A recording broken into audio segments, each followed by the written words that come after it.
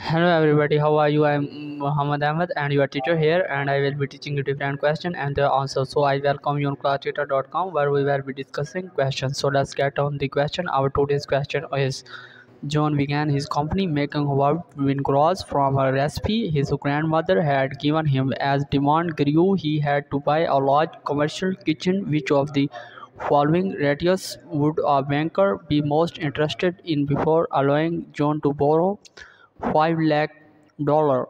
Option A liquidity ratio.